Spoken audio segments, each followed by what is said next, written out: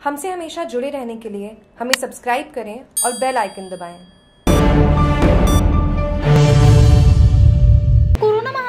दौर में मानव कल्याण की भावना से प्रेरित होकर राजस्थान पुलिस के जवानों ने गौशाला बाड़मेर में हरा चारा वितरण किया।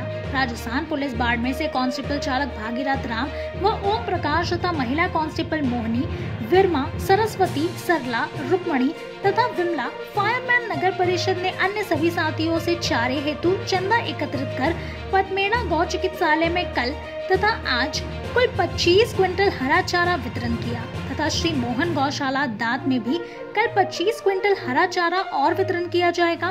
कांस्टेबल चालक ओम प्रकाश ने बताया कि कोरोना की इस भयंकर महामारी के दौर में गाय माता की सेवा करने से संपूर्ण विश्व को कोरोना महामारी से राहत मिलेगी। ऐसी भावना से सभी साथियों ने चंदा एकत्रित कर गौशाला में हरा चारा वितरण किया है। जागरूक टीवी की बाढ़ में से खास रिपोर्ट।